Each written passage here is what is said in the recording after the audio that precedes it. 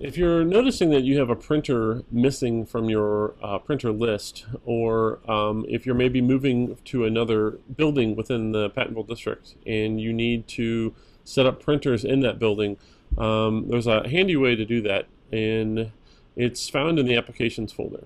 Um, so if I go to Go, Applications, um, in my Applications folder, you will find a program called Printer Picker. Uh, the Printer Picker is a program that will simply scan the network that you're connected to and look for other printers in that network and install them on your computer. So if you have lost all of your printers or if you have certain printers that are missing, uh, running the Printer Picker app will most of the time put those back. Um, this also allows you to run the app in other buildings in the district. So if I was at the Learning Center, I could run Printer Picker and it would install all the Learning Center printers. Um, you would just need to rerun the program again once you come back to your home building in order to, uh, to put those printers back. So I simply double click it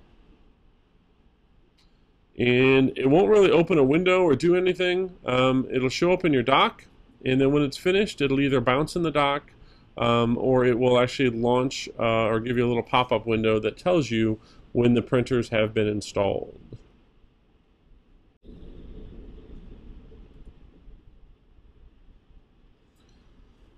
Alright, it took uh, about a minute or so to run, uh, and it tells me that no printers were added because I already had them installed. Um, if there were new printers to add, it would say HO printers have been added or LC printers have been added.